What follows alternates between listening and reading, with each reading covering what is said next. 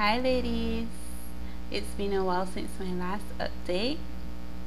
Um, yeah, I've just been busy with the girls and everything and um, being tired and exhausted sometimes from um, my breast disease or whatever but um, for the most part I've been doing good and um, sorry I still have my webcam.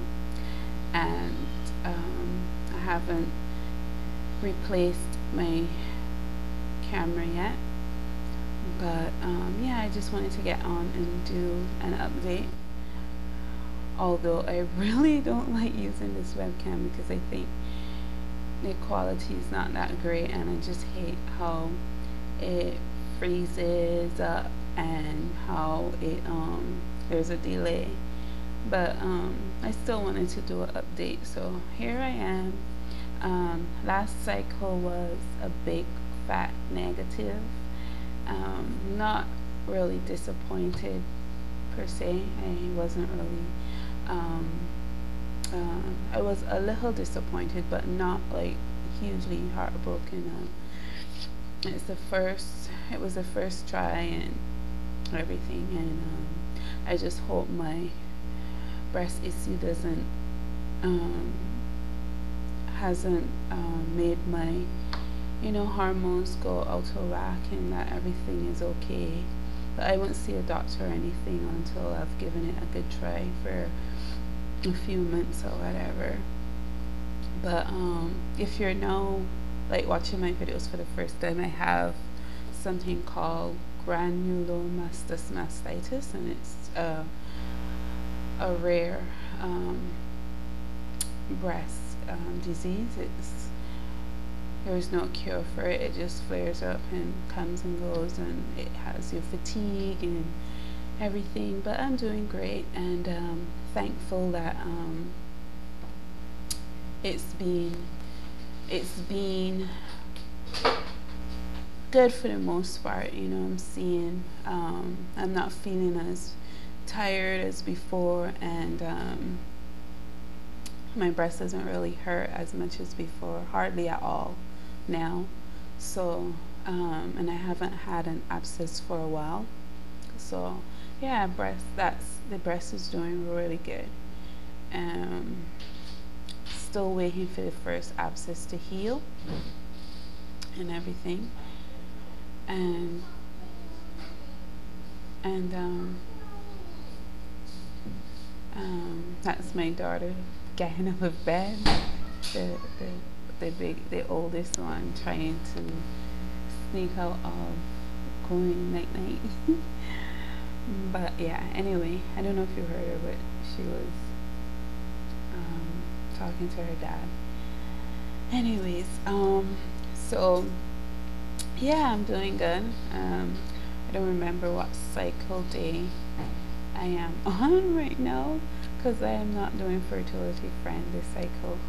Last cycle I was just um it was just too overwhelming and too stressful and I was um, obsessing with my charts and other charts on fertility friend and so I was like I'm not gonna do that this cycle because I was like a crazy woman. But um yeah I'm still taking my temps and I'm still charting. Um like when I say charting just jotting down my temps on the log a log I have next to my bed. And at the end of this cycle I'll still put them into fertility friend just to see just to compare the two charts from um, the previous months from last month to see you know what my body's doing and stuff. Um, just to make sure that it's um, you know that I'm ovulating or I have a you know a record that I can um, take to a doctor if I need to go and stuff. But for the most part I'm good. I'm positive and last cycle I um, sorry last update I was telling you about my um, cloth diapers. So I got the material in um, for almost three weeks now a few weeks anyway. And so I've been making well I've made my daughter her diapers. And I'm just going to show you a few of them. This one is this is one of them. And this one is a diaper cover slash um, all in two and um, I made them with um, a pocket at the top and a pocket at the bottom. And they also have the snaps just snapping an insert.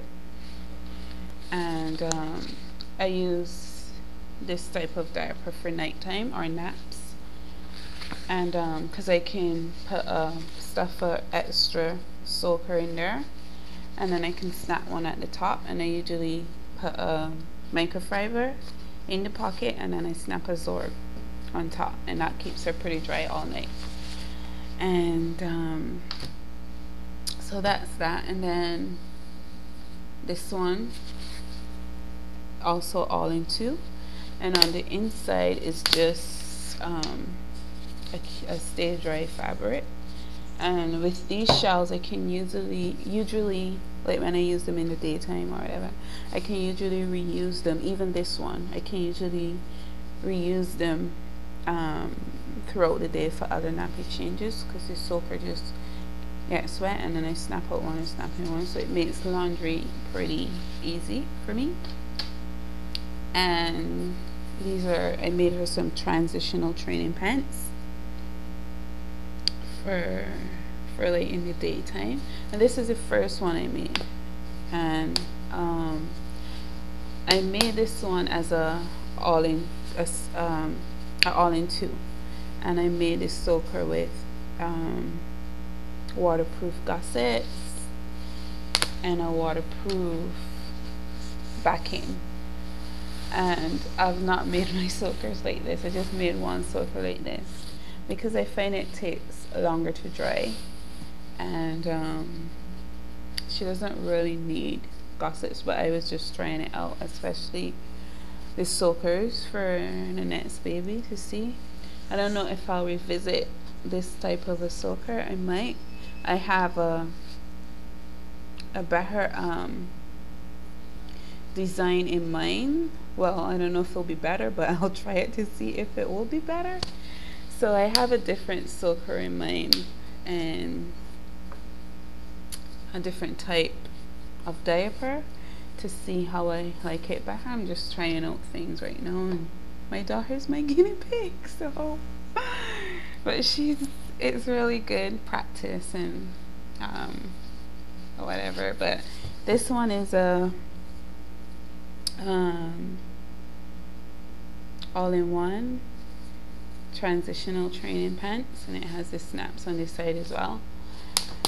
And inside I just have one layer of Zorb. And remember I told you how tiny she is. Look at that. This is this is such a tiny tiny um training pants. It's so cute and it's so cute on her it fits her like a glove and these are just some of the soakers that I'll be making. This is the snapping one. At the back is the microfiber. And at the top is microfleece. The stay dry microfleece. Because um you really don't want to put microfiber next to your baby skin because it'll just irritate their skin. And um, this is the Zorb.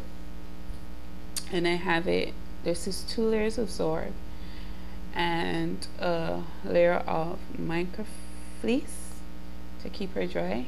And then the back is just a layer of um, flannel. And um, this is a really I love this Zorb. It is so um, absorbent and um, yeah I just use one of these like in the daytime when she's playing and stuff. It's just I just use one and it's enough for a few hours for a couple of hours and till I till she has to be changed and it works great. I love it. And then the other one I, I made I ordered and tried was the bamboo. And this is six layers of bamboo topped with a stay dry fabric. And um, this one is super absorbent too. This is really absorbent that's how the bamboo looks. And this is really really absorbent too so she usually just use one of these in the daytime too. And um, it also um, stays for a few hours a couple hours before I have to change her. So yeah that's my update. And those are the cloth diapers that I've been making. Oh and um, SF Helen has requested for me to do a, a tutorial for her and I'm gonna do that. I'm just um, I have to make actually make some um, covers or all in two type thing like I showed you for a friend of mine. And um, but I have to order the fabric because I'm waiting to order the fabric because um, our Canada Post is on strike and um, I don't want to order them and they get backlog or lost in the mail or something. So I'm waiting until the strike is over to to order the fabric and then I can do a tutorial. Because I actually don't have um, much stuff here because I use most of it for my daughter. Like I have some fabric left over but I'm out of snaps and um, so I have to order some more. So I'm just waiting. So I haven't forgotten Helen. I'll do your tutorial once I get the fabric. And then oh I ordered new pattern too so I'll be trying that out. So once I get those in and I can order them I'll make your tutorial. And um, yeah thanks for watching. That's my update. God bless you guys and I'm keep praying for all of you to get your BFPs and um, yeah so blessings to you. And thanks again for watching. Bye